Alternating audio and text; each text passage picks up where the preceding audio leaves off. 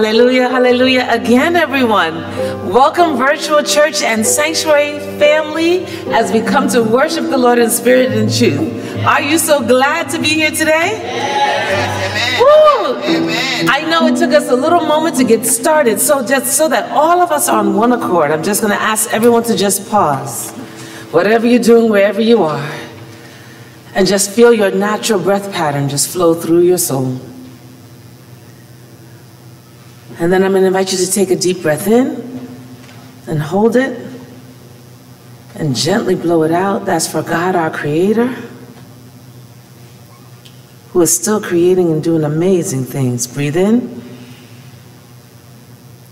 and breathe out. That's for Jesus, our Savior, our Redeemer. And we're grateful for all He has done and continues to do. Breathe in, breathe out. That's for the sweet spirit that sustains us and enlivens us and empowers us to worship in spirit and in truth. So let us pray. Lord, as we come into your sanctuary, we are acknowledging that you are God alone.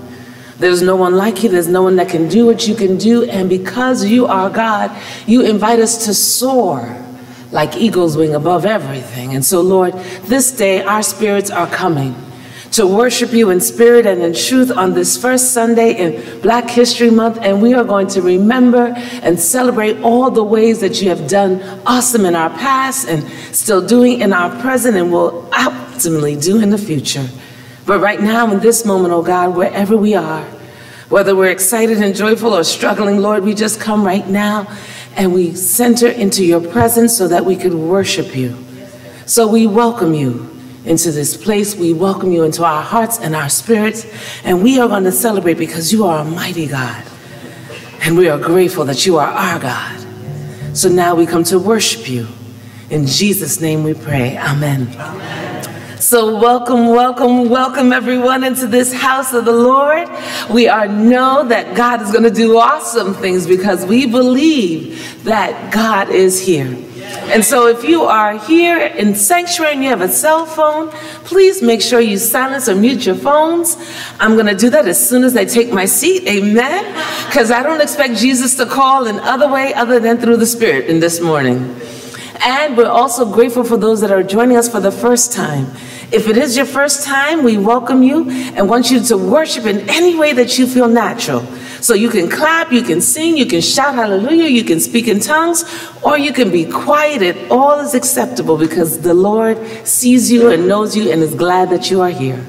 So as we continue in our worship experience this day, Brother Tamoya and the band has the best introit and introduction musical prelude they could be that simply says, Glory to the Lord. Amen. Amen.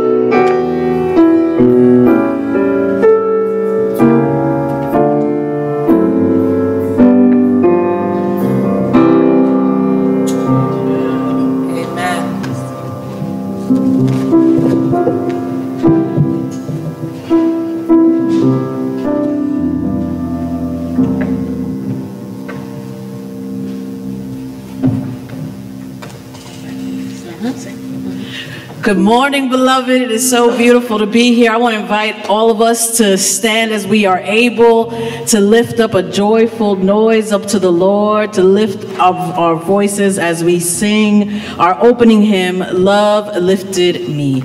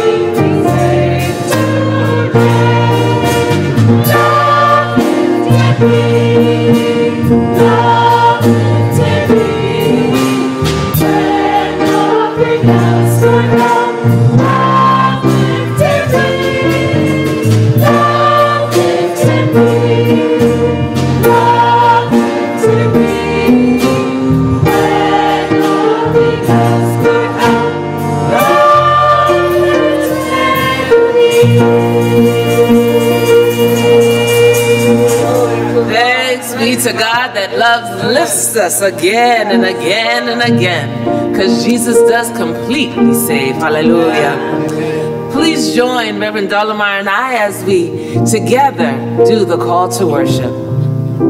People of God, welcome. Surely God is in this place. We come to worship and to rest in God's presence. Breathe deep for the goodness of God surrounds us. The Holy One who sustains the universe is near. When we are tired and worn and carrying heavy burdens, God, mm, woo, thanks be to God, is with us. God strengthen us that we might help carry one another's burdens. So let us join together in wonder and thanksgiving for God's love that lifts us up on the wings like eagles. Thanks be to God. Amen. Amen. Beloved, please be seated and prepare our, we all prepare our hearts to enter into a moment of prayer. It really is a blessing to be with you all today. It's my first time as liturgist. So I'm grateful to be able to serve also in this capacity. And of course, I, I, I bring you greetings on this first Sunday of Black History Month.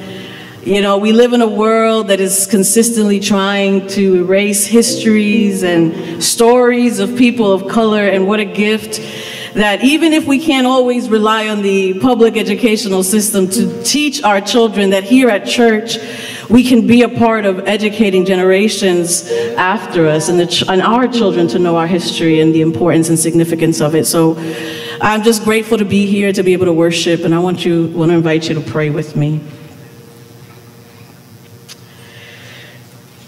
God, we are here at your throne again.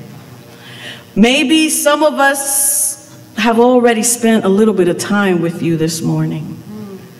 But now we have the opportunity to come and worship together in community. And so this morning, oh God, we ask you to come, Almighty King.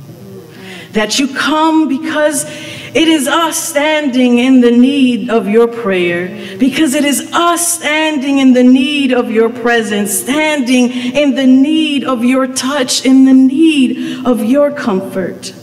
The comfort from the one who knows us like no other.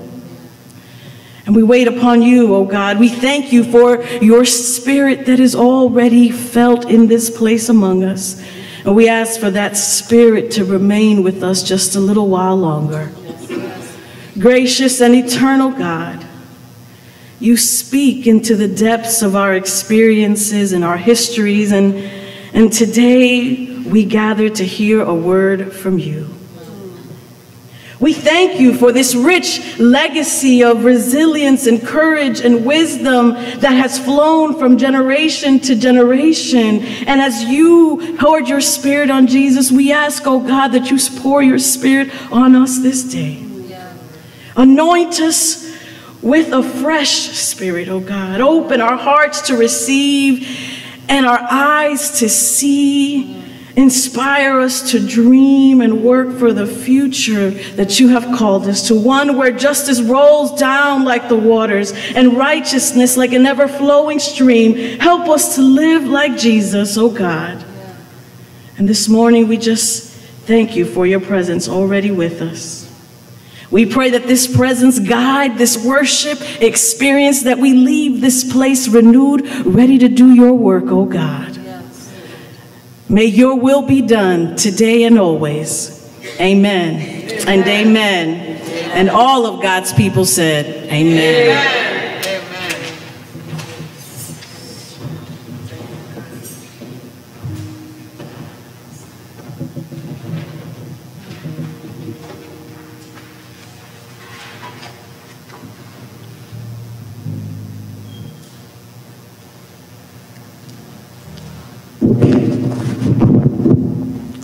Morning, church family. Good morning. Good morning, all of us here in the sanctuary this morning. Good morning to all in our virtual sanctuary and all the saints who have gone on before us. Good morning, all. This morning, we start our celebration of Black History Month in First United Methodist Church. Um, it's an opportunity, another opportunity for us to recognize and celebrate um, the accomplishments of um, Americans in the United States, black Americans in the United States and around the world, for the things that have been, that have been done and continue to be done in our world. Today we're going to highlight um, the Black College Fund, which is a, a lasting legacy of the United Methodist Church to historically black colleges and universities. Prior to the Civil War, there were four colleges or institutions which were dedicated to higher education for uh, black people in the United States. Um, the University of D the District of Columbia, Cheyney State in Pennsylvania, Lincoln College in Pennsylvania, and Ober, uh, Wilberforce College in Ohio. After the Civil War, it was understood that people needed to have education beyond eighth grade. And so institutions were uh, developed throughout the South for former slaves to be able to get education. The United Methodist Church was involved with the development of many of the colleges in states in the South. In 1972, the United Methodist Church established the Black College Fund to provide a constant, reliable approach to support United Methodist historically black colleges and universities related to the church, to the denomination. Other Methodist divisions, the uh, AME, the AME Zion, and the CME have colleges that they support. United Methodist Church actually supports 11. The fund supports 11 HBCUs, the largest number of black colleges and universities receiving funding from any church body in the United States. And I'm just going to name some of the colleges, and if you'd like to um, find out more about them, everybody knows how to Google these days. Yeah, go. Bennett College, which is in Greensboro, North Carolina. Claflin University, which is in Orangeburg, South Carolina.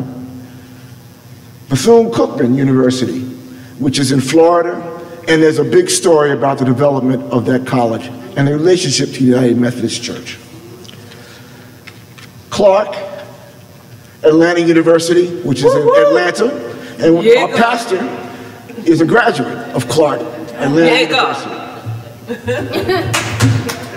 Hudson, Huston Tillotson University, which is in Austin, Texas. Dillard University, which is in Louisiana. And I'm going to ask a question because I don't remember right now. Dr. Watson, Swanson, did you go to Dillard? I did.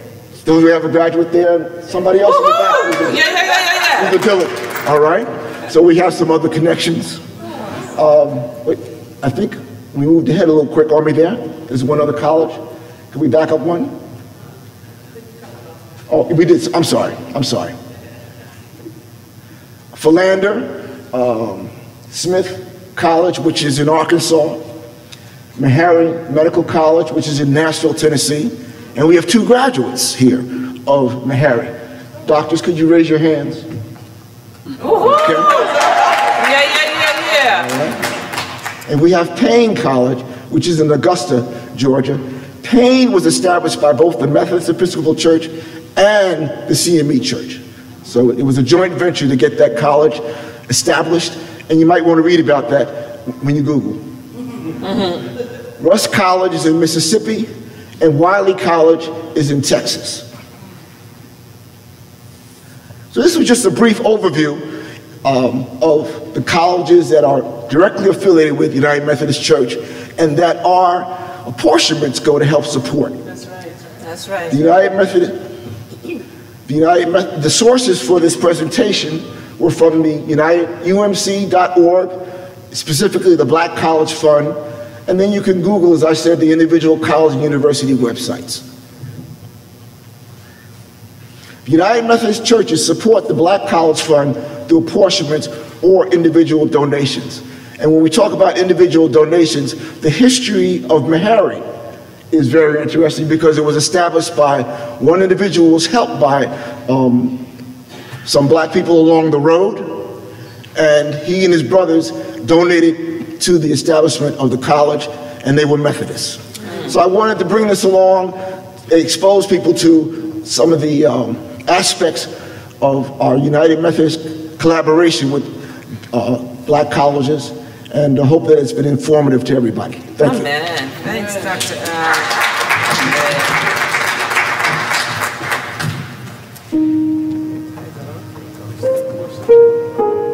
So grateful for that history, and I'm glad to be a part of that history. CAU.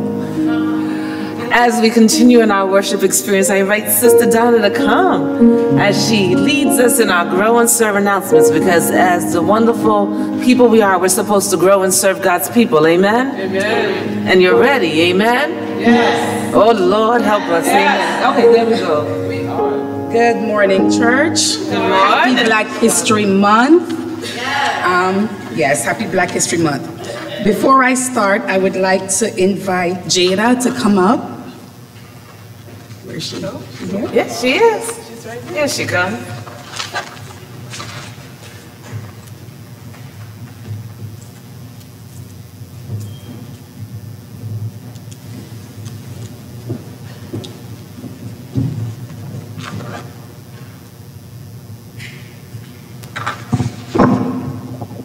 Good morning, church family. Good morning. So, I just want to inform you that I will be giving lessons in piano and violin.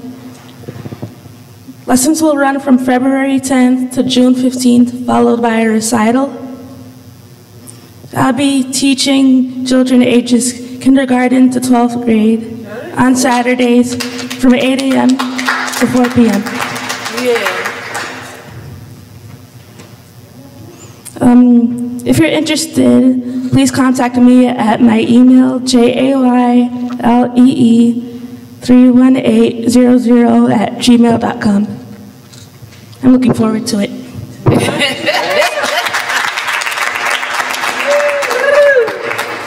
Yes. Amen. Good so job, excited. Jada.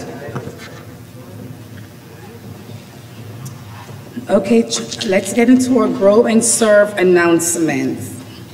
We would like everyone to experience the sacraments of Holy Communion. So in order to prepare, we would like you to have items to represent the elements. The preferred items are bread and cracker and grape or other juice. If you need a substitute, that should be fine. The flowers at the altar are given in honor of the February birthdays. Um, The February birthdays are Brother Ron Dietrich, Brother Ryan Dietrich, Sister Loretta Huttinger, and in memory of Howard Sharples. Amen. Upcoming events, February 14th, Valentine's Day, also Ash Wednesday service will be at noon. So that's a nice date. Come out, bring your loved ones. Sunday, February 25th at 11 a.m. um, we will have the Youth Sunday, and the theme is the Color Purple Live. Now, they would, they're encouraging you to dress in 1910 to 1940s inspired attire. Some of you can maybe find that in your closet, or just wear something purple. How about that? Um, church reopening guidelines. We're asking for you to, when you come in, sanitize your hands. You can wear a mask, it's optional. Sign in, register um, your attendance. Please practice some social distancing as much as possible. And please walk in a single file when entering and leaving the sanctuary. Tips. Telehealth Intervention Program provides free vital signs monitoring and social support services for seniors every Tuesday from 9 to 11 a.m. You can get more information from Sister Jean Wall, 347-500-8875 for more details.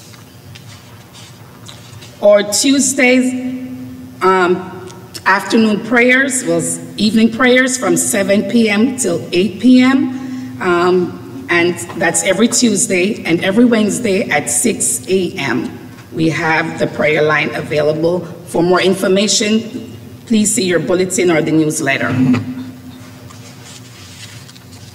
Phoebe Joy, J-O-Y, stands for Just Older Youth. It's a senior ad, um, adult program. It meets on Wednesdays at 11 a.m. and you can, you can connect by Zoom. You can see your bulletin or newsletter for more information. The online fellowship Bible study will not be happening this Wednesday coming, the 7th, or on the 14th. So we'll keep you posted as to when it will resume.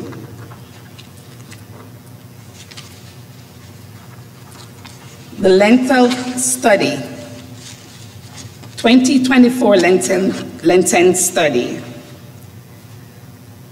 In this study, we will meet on Zoom to take a deeper dive into the spiritual discipline of fasting. How can we better connect this practice with how we show up in the world? Our overall question for a season-long reflection are, in, is this a world worth saving? Am I growing in love with God? If so, how? How does Sunday worship connect with what we do throughout the week? Those are the questions. So let's gather, reflect, discuss, and allow the Holy Spirit to challenge and convince, convince and convict us. It's every Wednesday from um, starting February 21st through March, right? Is that Wednesday? Uh, March 27th from 6 to 7:30 p.m. Reverend Chandler's teaching. Pardon me? Reverend Chandler's teaching. Oh, and Reverend Chandler's teaching. So um, please, please email the church office to confirm your participation. Um, umc1mv at gmail.com.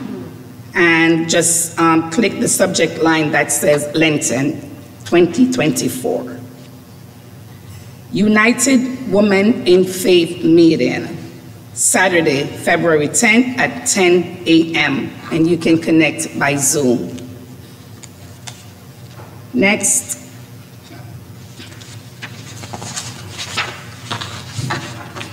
Not skipping anything. Oh, important. In your giving, please consider making a financial contribution to our food pantry to aid in purchasing items that are needed for the distributions. Our next distribution will be on Tuesday, February 13th at 9 a.m. For more information, you can visit fumcmvny.org or contact Brother um, Gums or Brother Cummings um, and through the church.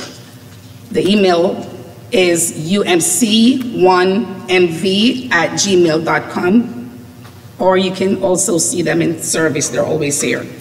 And help is needed to pack on February 12th at 4 p.m.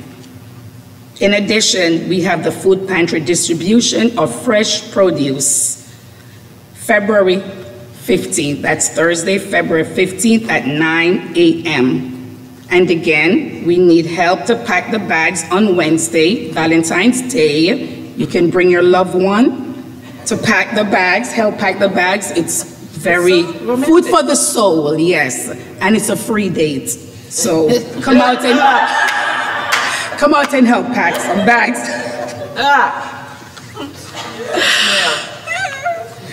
FUMC Finance Committee will host soup and games night. Mhm. Sister Susan Jeffrey, yes, you can see her for more information. That will be February 24th from 5 to 7:30. We'll have fun and prizes. Again, soup that I love and game that we can all use, night, February 24th. Okay, United Women of Faith trip to Boston. Saturday, Monday, Saturday through Monday, July 13th to 15th. So it's three days, two nights, and it's a trip to Boston. It includes um, the transportation, luxury bus, transportation, meals, lodging, tours, and more. The, the deposits are due now. You can see Sister Myra Dixon for more information. I have to tell you, I, um, I looked at the flyer and it's packed with a lot of things, so for the price, it's pretty, pretty good. Yeah.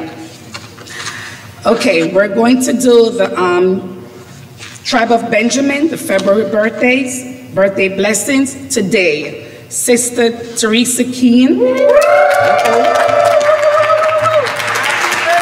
Happy birthday, Sister Terry.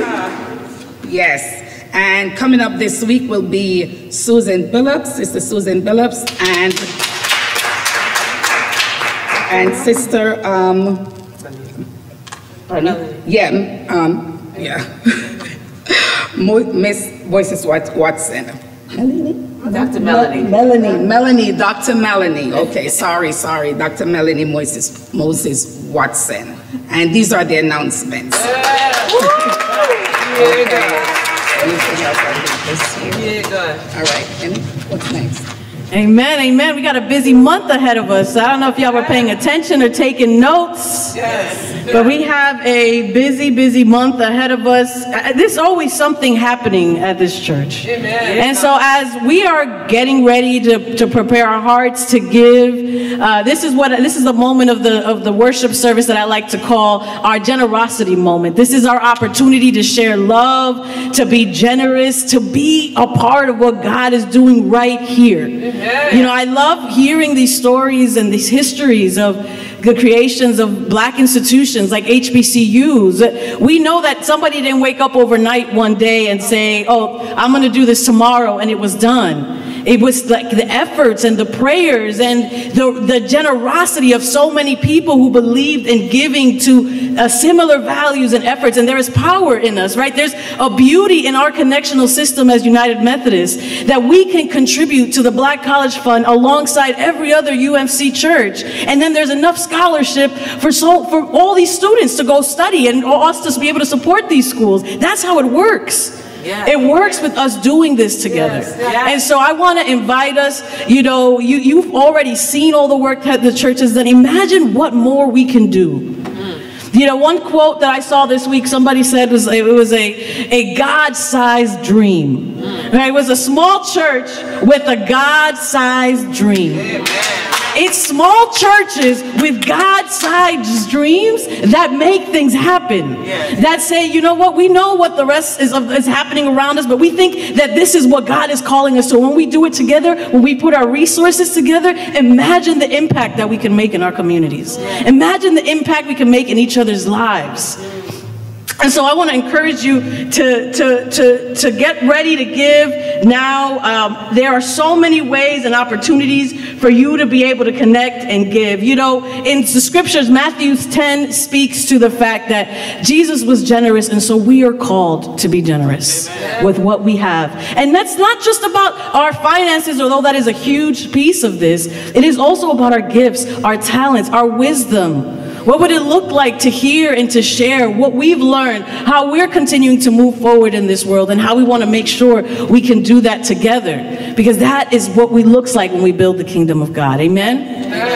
And so uh, there are many ways you can give. Um, you can give of your uh, tithings. If you're online, we encourage you to give online. If you're at home, there are all there's this barcode that will take you to the website. We have Vanco. We have multiple ways to give. If you're here in person, you have the delight of being able to offer your offering to the in our basket this morning. And and the reality is that when we give in any way that that looks like, maybe you want to be able to to to give regularly. Maybe you're somebody who doesn't remember every time. There's a way to set it up so it automatically you know how much you're you're you're giving and being generous to this vision that God had for this house here in Mount Vernon. And so I want to encourage you to please do what you can, give what you can, show up, share what you have, because together is how we're going to continue to make this world God see God's kingdom right here in Mount Vernon. Imagine that as it is in heaven. Amen. Amen. Amen. Amen. Please give generously.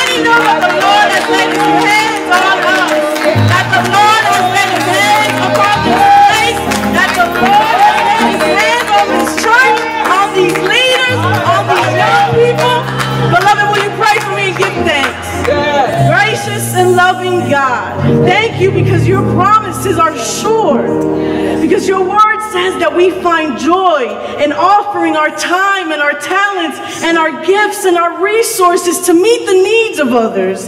Help us to give freely and cheerfully every time toward the work of your kingdom, right here in Mount Vernon as it is in heaven. May you cause these seeds that we sow today to grow into well watered, fruitful trees of life. God bless us, God keep us, and may God's face shine upon us. Amen. Please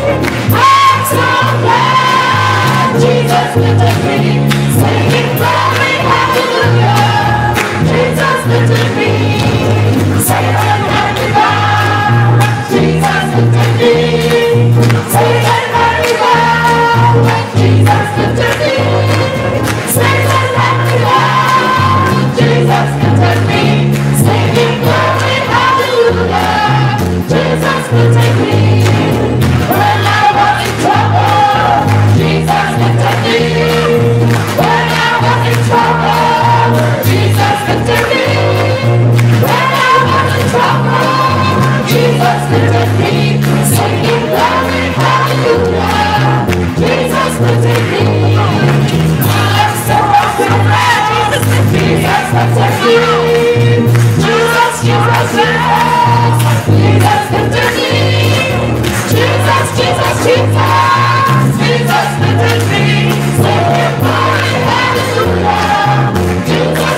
me.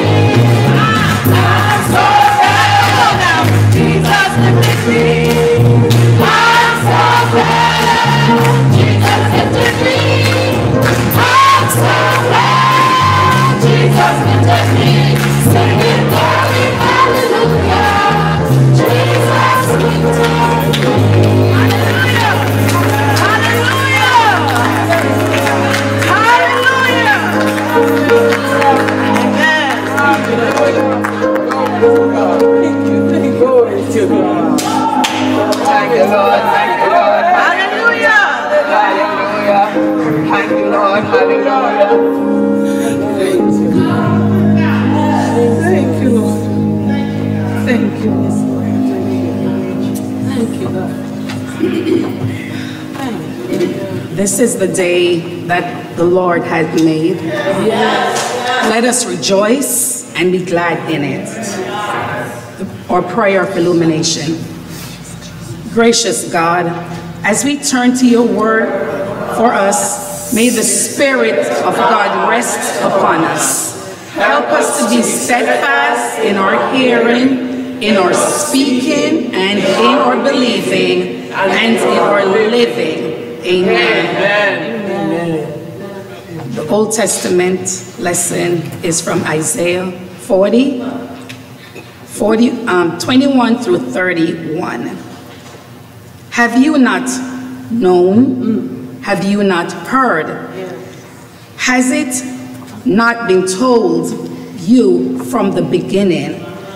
Have you not understood from the foundations of the earth? It is he who sits above the circle of the earth, and its inhabitants are like grasshoppers, who stretches out the heavens like a curtain and spread them like a tent to live in, who brings princesses, princes to naught, and makes the ruler of the earth as nothing.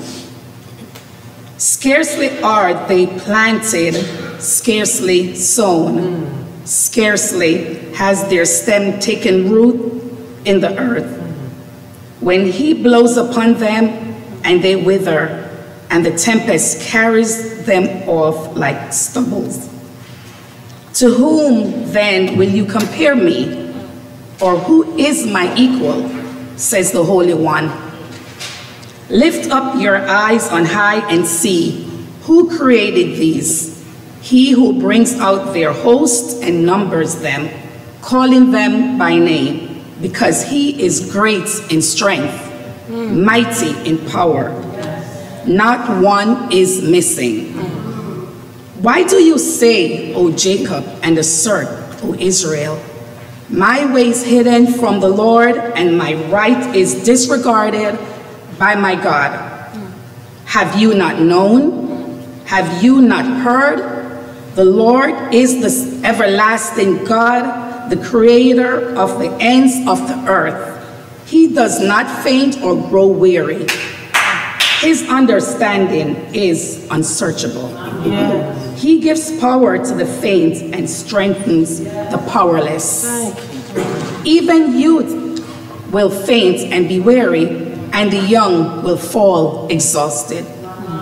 But those who wait for the Lord shall renew their strength. They will mount up like wings, with wings like eagles. They shall run and not be weary. They shall walk and not faint. Here ends the Old Testament lesson. The gospel lesson will be taken from Mark 1 21 through 28. If you're able, please stand. The man with an unclean spirit. They went to Capernaum, and when the Sabbath came, he entered the synagogue and taught. They were astounded by his teaching, for he taught them as one having authority and not as the scribes. Just then, there was in their synagogue a man with an unclean spirit. And he cried out, What have you to do with us, Jesus of Nazareth? Have you come to destroy us? I know who you are, the Holy One of God. But Jesus rebuked him, saying, Be quiet and come out of him. And the unclean spirit, convulsing him and crying with a loud voice, came out of him. They were all amazed and they kept on asking one another, What is this? A new teaching with authority? He commanded even the unclean spirit, and they obey him. At once, his fame began to spread throughout the surrounding region of Galilee. The word of God for the people of God. Thanks be to God. As you are seated in the presence of our God, I invite you to hear the next song and the musical selection our choir will sing. Because it is a truth that God will raise you up on eagle's wings so that you can soar. Hear these words and let them become good, good, good flooding waters for your soul.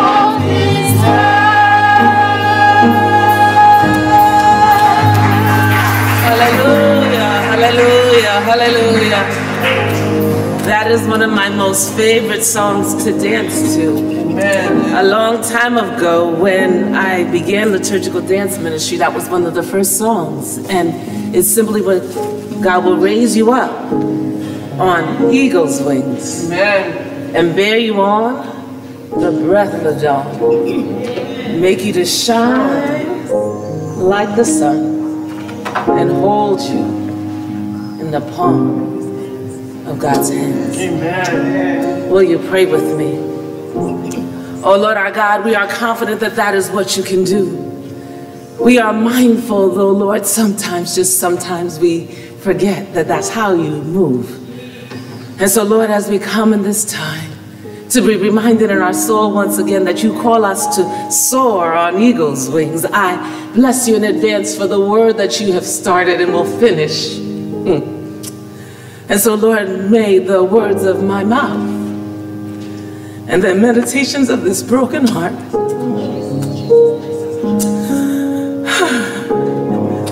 be acceptable to you. Because you are always, you're always the rock. You're always our strength. And we bless you again and again for being our Redeemer. Amen. Amen. Praise the Lord.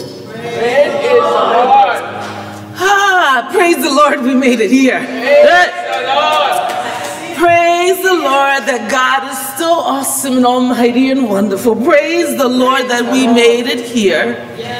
Here to this moment in worship, needing to hear a word from the Lord. Here in this worship experience where I pray that most of your souls, because I know my soul, has been already mightily blessed. And more importantly, praise the Lord for this moment in time in which we all are here living our lives. My awareness this day is that there are some of us that are so filled with joy and excitement that we are on tiptoe excitement waiting for what's to come next. God is good, life is good, everything that's happening is just so wonderful. Doors are opening, opportunities are blessing again and again, and life is filled with so much sunshine that the smile on our face matches the smile in our hearts. Amen. For some of those under the sound of my voice, life is uh, okay. It's not all great, but it's not all bad either. It's good and it has moments of good. We can see it and smile with some joy, but Lord knows there are challenging moments that just shake our heads like, oh my God. For there are things and situations and people that, you know, are not exactly the way they should be.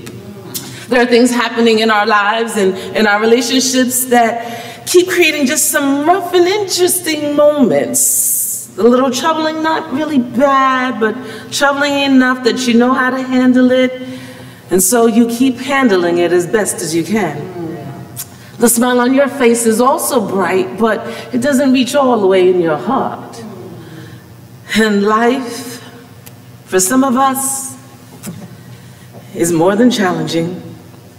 It's filled with moments after moments after moments of hardships and situations that literally break make you bust into tears and make you say, oh my God, where are you? There are many that have losses and sicknesses in their life and their days are filled with sorrow and pain that is so constant they don't know what to do next. There is no reprieve from their situation. In essence, they are tired and weary and simply plain exhausted. They are tired and tired and sick and tired of being tired. And to further impact all of us, regardless of whether we're joyful or sorrowful, our world's whether how connected or loosely connected you might be to social media, the news, the community at large, the information that just keeps surrounding us and bombards us is about the tragic wars and the food insecurity and the homelessness and racial and ethnic disparities and just all kinds of attacks. And I don't know if you noticed, they keep attacking black women for some reason or another in high places. But Lord knows that even with all of that, we're still dealing with COVID who keeps getting better and more improved each time COVID shows up. So to all that gather this day, I say, praise the Lord that we are here.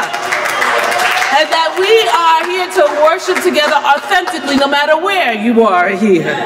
Knowing that the Lord meets us all right here. Through all the things that you've heard thus far, I pray that you know the matter and what you're going through. God is still God. Amen. And God is still good and God is right here with us. Do you know this? Can you sense it? Can you feel it? Are you paying attention? I mean, really paying attention. You know that, that watching and listening and thinking about something so carefully with interest that you are paying attention to every move that might happen. I surely hope so. Because I believe in this season now more than ever, we're called to pay attention However, not just to our circumstances and what's going on in our life that makes life life, but how God is moving in the midst of it all and calling us to move just the same. Amen. When the prophet penned the words, Have you not known and have you not heard? Has it not been told to you from the beginning? Have you not understood from the foundations of the earth? He wanted to make sure that the Israelites then understood how much God is still God in the midst of all the suffering and the challenges they had.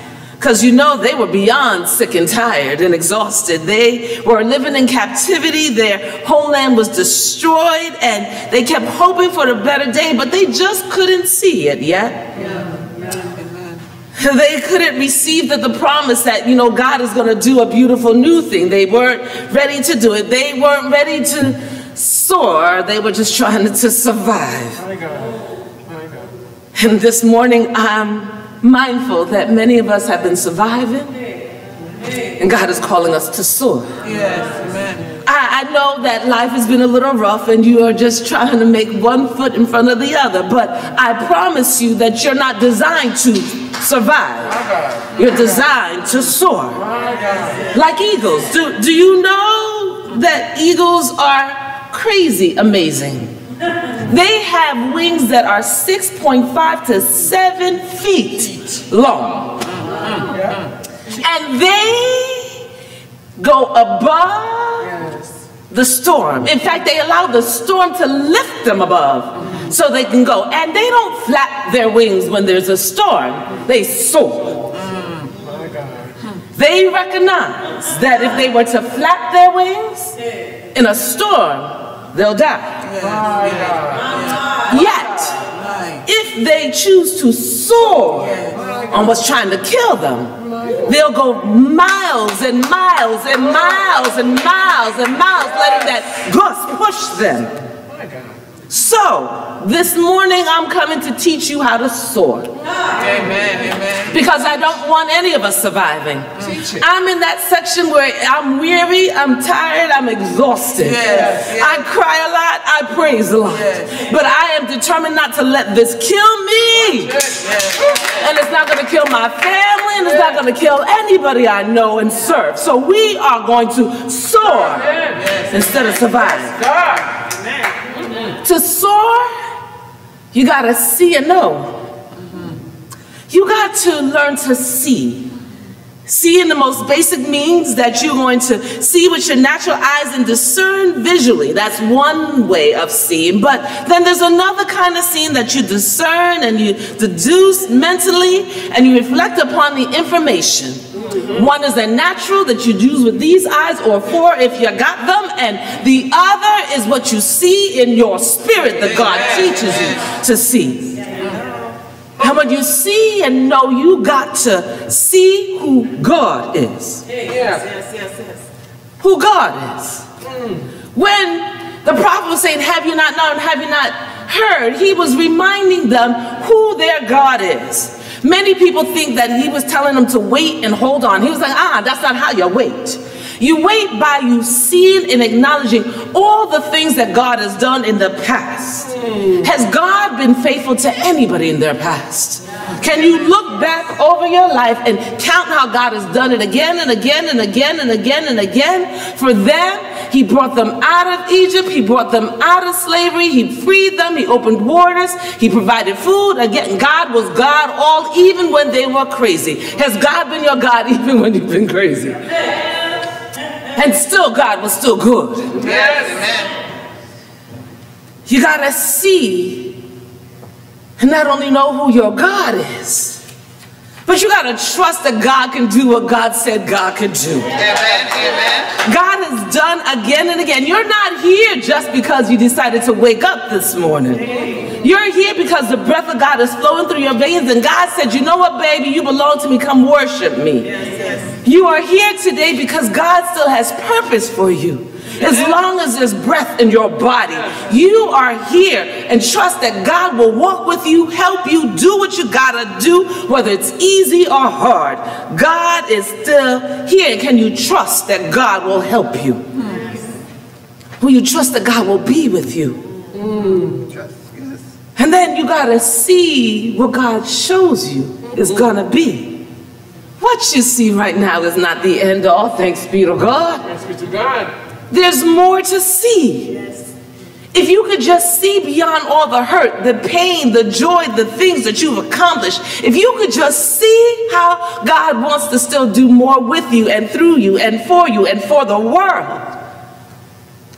I bless God on this black history and I'm glad to be black. I don't want you to see me like everybody else. I want you to see this dark, rich, beautiful brown skin and hear the craziness in my voice and the wildness. I want you to see all of me. Because if you can see me, you can understand that I'm not here by myself.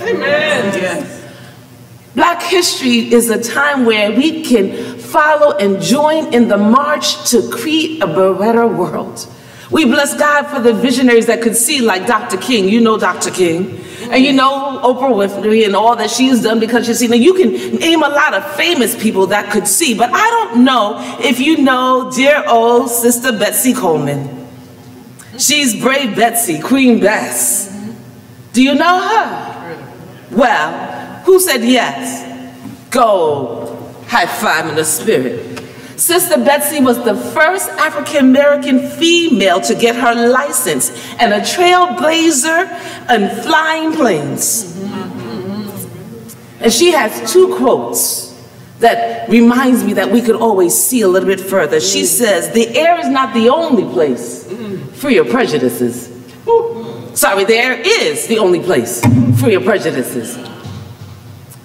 And so if you're soaring above, you can't get fully caught up. Oh my God. She also decided that blacks should ha- not have to experience the difficulties she had to face. So she decided to open a flying school to teach other women, black women, to fly. Hmm. When you see and understand that, that the future God has for you is not just for you, but for others. That there is a space and there is a place where justice can roll down like mighty waters. That there is a place where the kingdom of God can actually be here on earth. When you can see it, then you will strive for it.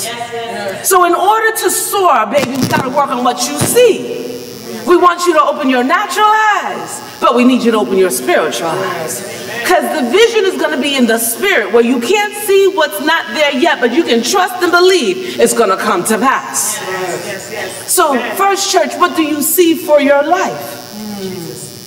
What do you see for our church? What do you see for our world? And do you trust that God will help you do what you see? After you see, you got to observe it here. Observe is to notice and to perceive, to register that something's being significant.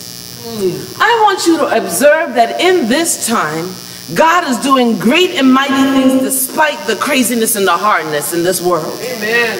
God is still showing up every time someone fights for justice, every time someone opens their mouth, every time you and I walk like the bold child of God we've been created to be and make a difference in the world and don't get caught up in what other people say in the nonsense, but we fight against it. I want you to observe how God is doing great things. But I need you also to observe what's going on in your soul. Don't lie to yourself, baby. Observe the truth of when your mind ain't right, or when your heart's not right, when your soul is wrestling and struggling. Observe when you are not being as Christian as you could be. Observe when people are not treating you right. And observe it tonight and recognize that this is significant enough that it's not supposed to stay this way, but it's supposed to be better. And that God wants better. And I want you to begin to observe and hear what's going on around you. Life is more than you, yourself, and you. We live in this world. This world and this church is not just here on Lincoln and Summit. This church is part of a larger church, a part of a larger kingdom, a part of a larger responsibility. When you recognize and observe with all that who you are and all that God is and all that's going around, you got to hear where God is calling next. You got to learn to hear how God is calling you to move. You got to hear how when God is telling you to be still and know or to fly and soar. But you got to also hear that no matter what's going on, you are not supposed to die. You got to observe like some folks that come to church that might even have an evil spirit on them. I love that demon that showed up in church that day. All right. Of all the folks that were marveling and questioning about who Jesus was and what Jesus was doing, it was the demon that figured out. Hey, Hey. He knew. he knew exactly who walked. Now, if the demons can figure out exactly who Jesus is, we who love him and serve him and honor him should know exactly who he is and what he can do. And when he speaks, we should hear his voice and not follow another. So you gotta observe because the truth of the matter is, I'm not gonna do spiritual warfare one on one today. One day I will. But you should know, baby, there are some demons in life. Yes. Mm-hmm. Yes. They're real. Yes. They're in systems and they're in people. Yes. They jump. Yes. And anytime you see evil, you know that's an evil spirit. So the simple thing I'll teach you for 101 is in the name of Jesus, I bind you and I cast you in the pits of hell, never once to return. Mm. And Lord, in your place, fill it with whatever goodness. Because when you cast out a demon, if you don't fill it back with the right stuff, that demon and others are going to come back and say, hey, there's an open house. So I need you to hear me on this. Even if you don't know how to take care of a demon, all you can say is, Lord, cover me under the blood. So I want you to observe that the next time you're in the midst of something that is not holy, observe and say, Jesus, cover me. Cover me. Amen. Hey, hallelujah. You got to observe because everything is not you. There's some things that are also natural and spiritual. You also got to attune. Attune means to bring into accord, harmony, adjust to the right relationship. Mm-hmm. You know who you got to attune to, yes? Mm-hmm. What's his name? Jesus. What does he do? I'm asking because if you don't know who he is, you don't know the relationship you're in, I want to make sure that you're attuning to the right stuff. And since you're a church, I don't feel like I need to tell you how to attune to Jesus because you should know him. So who is he to you? My everything. Come on, who is he? What can he do? Here's my peace. What can't he do? My mm. joy. Mm. Attune to him. Mm-hmm. My everything. Mm-hmm. Because when you attune to something, and Sister Jada, I look forward to the music ministry that you're going to do. Amen. I've learned that when you attune, and Brother Tamoy and those of you, I believe that sometimes your instrument can get out of tune. And you got to do some things to attune it, yes? Uh huh. It doesn't just happen because you're like, oh, it's out of tune, attune. It doesn't work like that. It doesn't work like that. There's an adjustment that has to be made in your mind, your body, your soul, and your spirit. There's an adjustment that has to be made in your life, in your walk, in your talk. There has to be an adjustment to what you're doing so that you can get something different. And so, when you're going to soar over the troubles of life, you got to make sure you're attuned to the God who has the power and the ability to help you fly and soar above all. Because when you're attuned to God, you can look high and see low.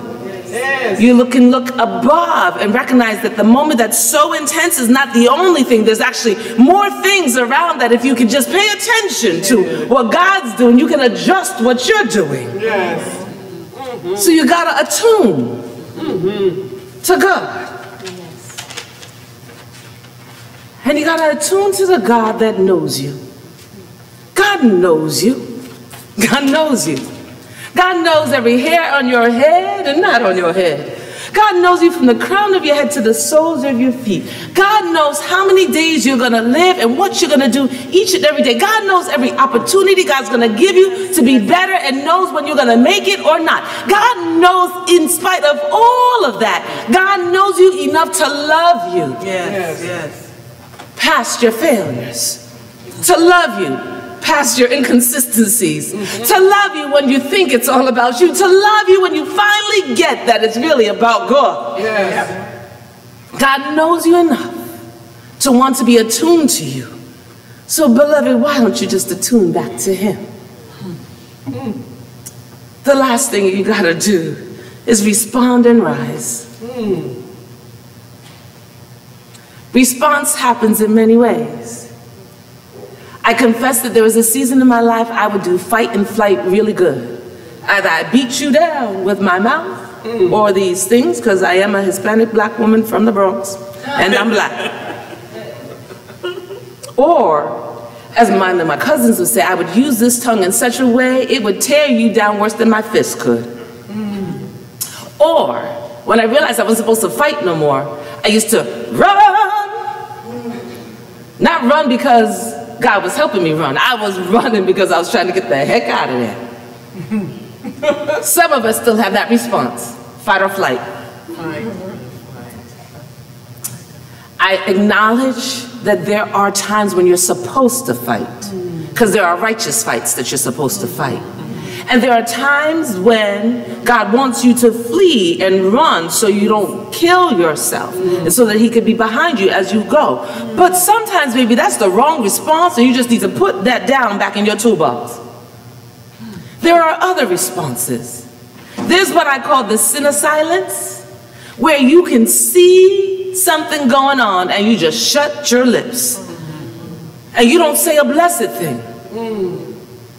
And that's not helpful either because when you close your mouth and don't say nothing, you give the evil the wrong right to continue to perpetuate itself. There's also the response where you can shout and scream and cuss. That response has its place too. Because sometimes when you're hurting and you're struggling, you need to say, Help, somebody see me, this is wrong, so that someone can respond to you. But sometimes that response is not the right one either. Because if you're doing like I used to do when I would fight with my tongue, that's not of God. Then there are some other responses that are actually more holy. You can pray. Amen. You can pray and talk to the Lord out loud in your heart. You can say big, long words. You can speak in tongues. You can just say, Jesus, you, you can pray. But you don't want to pray that you know earthly good. When your prayer is all you do, something falls short in that response. You could respond by acting justly and kindly and walking humbly with your God. You can help destroy injustice and prejudice. You can respond in those ways. And when you respond in those ways, it not helps you, only helps you, but it helps others to rise above. Because the thing is, beloved, whatever response you choose, you have to make sure it's the right response to get you above the storm. You got to make sure that it's the right response that will get you through the storm. Yes. You got to make sure it's the right response so that you don't lose your mind, your heart, your soul, your spirit before God calls you home. You got to find the right response that will help you rise. And the only way to do that is to spend time with God. You got to spend time with God when things are going well. Because when things are going hard, you may forget to pray, to worship, to come to church. You might forget to do the things that will build up your soul in darkness. You got to make sure that regardless of the state you in, every Sunday that you can, whether virtually or in person, you show up to this house. Amen. You make sure on Sunday, wherever you are, you are in church yes. with the God who will make sure God will equip you with what you need so you can soar. Yes. Yes. You got to make sure that you have friends, some holy and some not so holy. Uh-huh. You need your holy friends to help check and keep you accountable. You need your unholy friends to remind you that the world is not perfect and that you're supposed to call and help them be holy like God is making you holy. Amen. Amen. Amen. Amen. You also, you also have to make sure that in the most difficult of storms, that you learn to spread your wings and soar. When I say rise, I'm not just talking about, well, that's not true, I am. Sometimes you need this kind of rise. Lord, if you don't get me up, I'm not rising. So sometimes just to stand up, whoo, Yes. you need the grace and the power of Jesus because the thing that helps you soar is the Spirit. So sometimes, just sometimes, you need that natural get up. Sometimes you need that get up in your soul. Yes. Sometimes when you're weary and you're exhausted and you can't figure out what's gonna come next, it's that private time that allows you to remind you, I'm still here. I never leave you nor forsake you. That you can do all things through Christ who strengthens you. I am your light and your salvation. I am the one who you need to trust. I have your back. I will never leave you or forsake you. Sometimes you need to be able to rise up in your spirit because if you can rise your spirit up and remember who God is, eventually other things line up. And if you learn to speak, it will help those things line up to the will of God. Beloved, I want you not to survive. I want you to soar like the wings of eagles. Amen. I want you to be able to soar so high that what you have gone through, what you are going through, will not be your testimony. I want you to know that there's a God that wants you to soar. God doesn't want you to die here. God wants you to have a better life. But not just you. God wants this world to look like God's kingdom as it is on earth. So, beloved, I want you to soar. But as you soar, I want you to take someone with you. Who in your life needs to rise above their situation? Who in their soul needs you to come and lift them up? Who right now needs someone to come and pick you up? To remind you that your call is to soar. So, my prayer this day is that God will anoint your eyes, that you can see what God sees. Beyond the hurt, beyond the pain, beyond the child, that you will see the goodness of the Lord in the land of the living. My prayer is that God will open your ears so that as you observe what your eyes see, that you can hear the voice of God saying that you can do it because you can do all things through me who gives you strength. I pray that God will open your mouth, that you will speak light and life and truth to all that is wrong, and that you will speak and declare the goodness of the Lord in the land of the living. I pray that God will anoint your hands, that they will heal and they will serve and that they will bless and they will help others. I pray that God will anoint your feet so that you will run and not be weary. And if you can't run, that you will learn to walk and not faint. And I pray that as God orders your steps and as you take step by step with Lord, that you will latch arms with others because together we overcome every storm in life. And together, together, together we soar above it all. May God grant you the grace and the power to know that it's the sweet spirit that's allowing you to do it all. And just in case you need a reminder, God can do something out of nothing. God does God's best work in chaos, in darkness. If you remember creation, I believe it was nothing but chaos and darkness, and a world was came to be. And so, if there's darkness in your life, if there's hardship in your life, if it's chaotic in your life, know that God is always God. Know that Jesus always redeems. And know that the Spirit not only sustains, but helps you soar. So soar, baby, soar. Soar as high as you can and soar so you can live. Amen. Amen.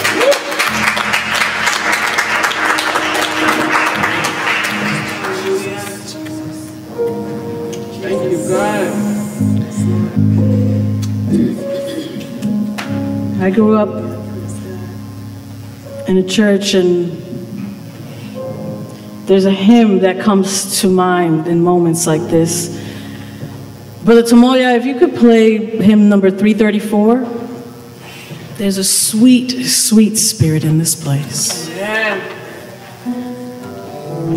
And there is nothing like the Spirit of the Lord. There is something about a God who sees us. In Genesis, we hear Hagar in the middle of the wilderness being cast after being cast out with a baby, with nothing to feed the baby, with nothing to eat. And she turns and realizes this is the God who sees us. Blessed be the God that sees us. Beloved, I don't know where you find yourself this morning. You maybe you're familiar with this. Maybe you've been coming to church your whole life. Maybe this is something you've known to do. Maybe this is new. Maybe somebody invited you. Maybe you were looking for something. You didn't you're not really sure what's going on. I don't know where you find yourself today. What I do know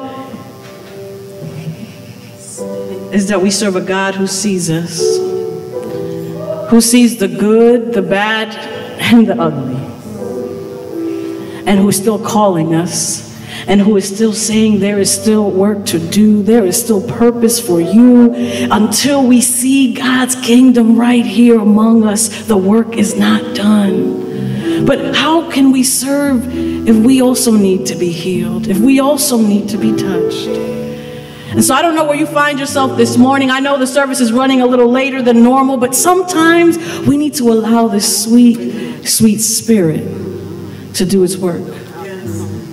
And so if you need or feel called to come to the altar, the altar is open. If you feel compelled to stay and pray in your pew, you can do that as well. But how can we allow this sweet, sweet spirit to come into our lives, to transform us, to renew us, to restore us, to go forth and do. So, beloved, let's take some moments. If you feel called, come up to pray. We would love to pray with you. If you're not really sure, we would love to make sure we talk with you after service. This is our opportunity to reconnect so that to, to, to observe, to seek, to attune ourselves to what the Spirit of God has for us. There's a sweet, sweet spirit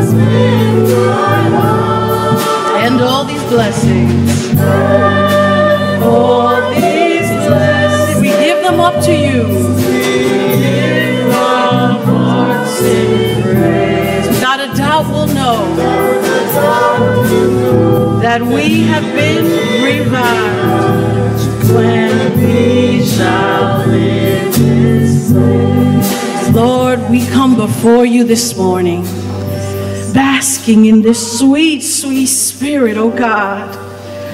Oh, with hearts open and willing to receive from you, open and willing to respond to you, oh God. Some of us here maybe have known you for a long time, but we're in need of renewal, Lord.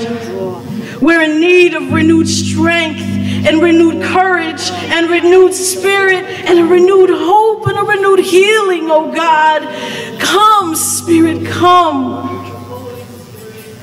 For those of us who are not so sure, we're, we're not so sure what God is saying, what God is calling us to, may you also be reminded today that all of us are welcome to experience God's touch, to experience this healing, to experience this love and this power and this strength. Yes, all of us, because God is real deep down in our souls. We know this, and we stand firm on the promises that God will always be faithful to God's people.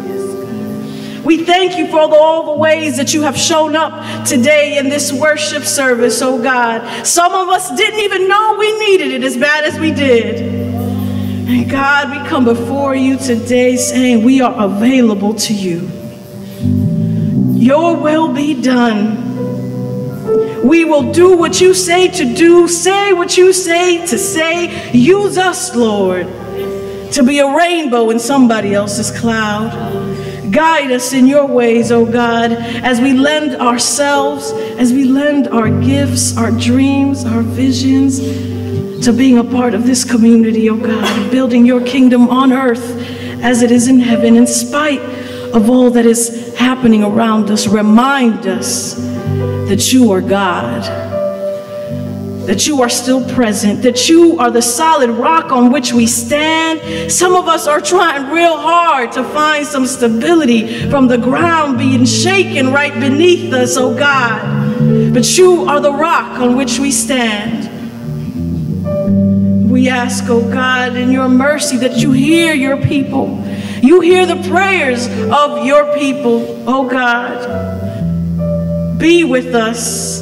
And we remember this great cloud of witnesses that has already shown us the way, that have shown us that you are the God that makes ways out of no ways. You are the God that looks at an impossible situation and says, It is possible. And so, God, it is on your truth and your promises on which we stand. We take solace in your spirit, in your sweet spirit. We find strength in your spirit. And we look to those who came before and we remember their resilience and their faith and their courage. They, like us, did not know what lied before them in the wilderness, but they stepped forward trusting in one another and trusting in God that another world was possible, that something different was possible in our midst. And so, God, even in some of our most difficult moments, we pray for your spirit to pour out amongst your people this morning. That it gives us the power and the vision to do what must be done because we who believe in freedom and we who believe in love and we who believe in hope and we who believe in promise and we who believe in your kingdom, we will not rest. We dare not rest. We cannot rest until it comes. And so, God, of our weary years and our silent tears, we give you thanks for all the ways you've moved among us, for all that you're already doing in between us, and for all the ways you will move. Grant us wisdom and grant us courage for the facing of these days. In the mighty and matchless name of Jesus, we pray. All of God's people said, Amen and amen and amen.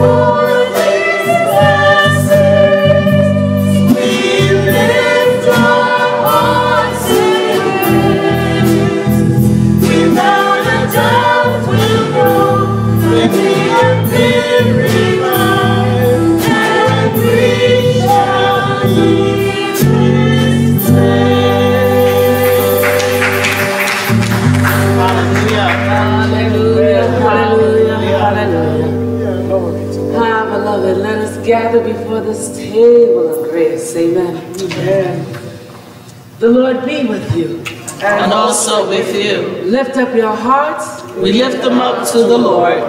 Let us give thanks to the Lord our God. It is right to give our thanks and praise. It is right and a good and a joyful thing always and everywhere to give thanks to you, God Almighty, creator of heaven and earth. You formed us in your image and breathed into us the breath of life. When human cruelty reared its ugly head, you sustained your people and made it possible for us to survive the Middle Passage, auction blocks, whipping posts, and forced labor. You softened the hearts of many who worked in secret on our behalf. You lifted our heads with the message that God sides with the oppressed and delivers the captives. You strengthen our hands to struggle for justice and freedom. And so, with your people on earth and all the company of heaven, we raise your name and join their unending hymn. Holy, holy, holy Lord, God of power and might, heaven and earth are full of your glory. Hosanna in the highest. Blessed is he who comes in the name of the Lord. Hosanna in the highest. Holy are you, and blessed is your Son, Jesus Christ, who left the comforts of glory to live among a people estranged from God. By his life and example, he taught us that it was possible to love our neighbors and live together as family. By the baptism of his suffering, death, and resurrection, you gave birth to your church, this church. You delivered us from slavery to sin and death and made with us a new covenant by water and spirit. And on that night, in which Jesus gave himself up for us, Jesus took the bread, he gave thanks to you, Lord, broke the bread, and he gave it to the disciples and said, Take, eat. This is my body, which is given for you. Do this in remembrance of me. And when the supper was over, he took the cup. He gave thanks to you. He gave it to his disciples and said, Drink from this, all of you. This is my blood of the new covenant, poured out for you and for many for the forgiveness of sins. Do this as often as you drink it in remembrance of me. And so, in remembrance of these, your mighty acts in Jesus Christ, we offer ourselves in praise and thanksgiving as a holy and a living sacrifice in union with Christ's offering for us as we proclaim the mystery of faith. Christ has died. Christ is risen. Christ will come again.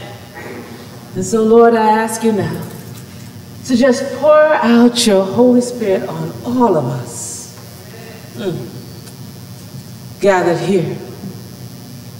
Mm. Let it fall. And on these gifts of bread and the fruit of vine, Make them be for us the body and blood for Christ, so that we may be for the world the body of Christ redeemed by his blood. By your Spirit, Lord, make us one with Christ and one with each other and one in ministry to all the world until Christ comes in final victory and we feast at his heavenly banquet. Through your Son, Jesus Christ, with your Holy Spirit and your holy church, all honor, mm, all glory, hallelujah, all power and almighty Father is now yours forever and ever. Amen. Amen. Now, as children of God, and with the confidence of the love that God has for us, let us all join together in reciting the prayer that Jesus taught the disciples by saying, Our Father, who art in heaven, hallowed be thy name. Thy kingdom come, thy will be done on earth as it is in heaven. Give us this day our daily bread, and forgive us our trespasses, as we forgive those who trespass against us. And lead us not into temptation, but deliver us from evil. For thine is the kingdom, and the power, and the glory forever. Amen. Amen. Well, beloved, it's that time where we get to commune as a family. So I invite those of you in church to open the first level of your cup. Don't eat it yet, just hold it. The body of Christ broken for you. Amen. The body of Christ broken for you. And those in virtual church, I pray that you also have the body of Christ. Lift up the body of Christ. Give thanks to it. Remember that it's the body of Christ broken for you. Eat and be blessed.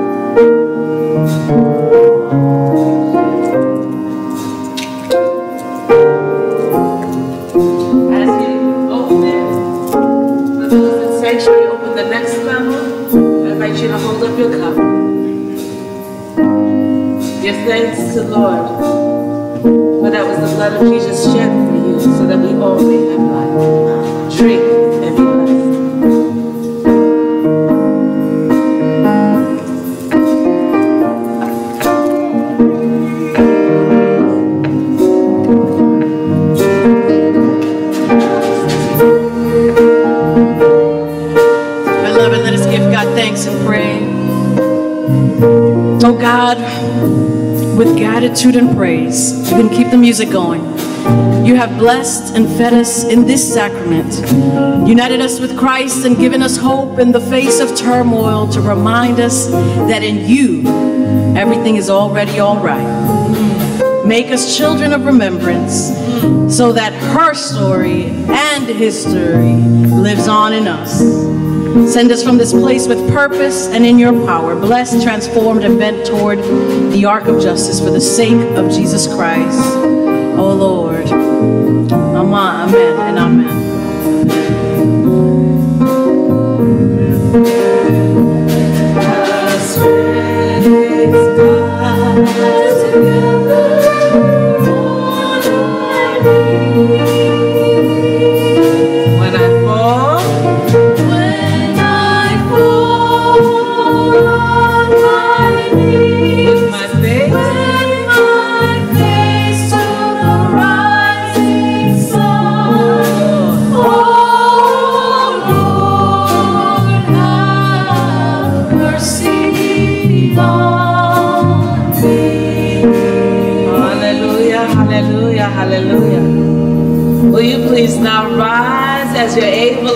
Join and lift your voices in singing? Amen, amen.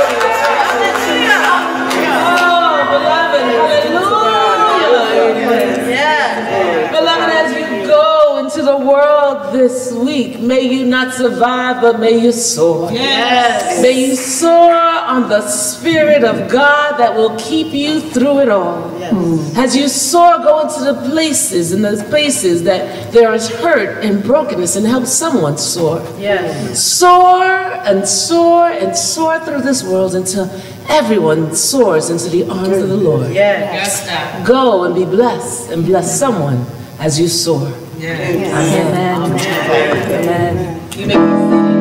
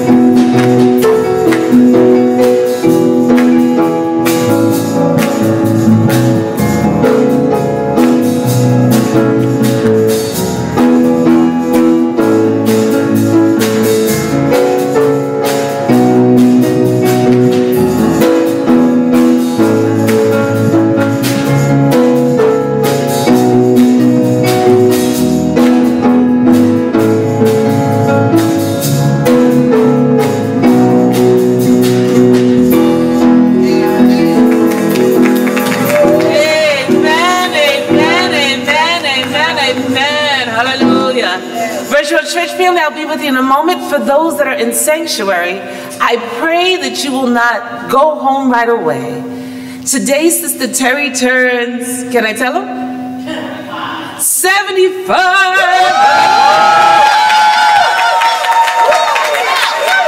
And so on behalf of the SPPRC and the church, we got a party. So we're gonna eat and sing happy birthday to this amazing woman. I literally believe she's the only woman in this church that nobody hates. Like nobody, like there is, there is nobody, nobody, nobody in the church dislikes Sister Terry. I don't know how God has done it, but God bless you. God bless you. God bless you. So for those of you here, come join and sing happy birthday and eat good. Virtual church, we're coming right now. God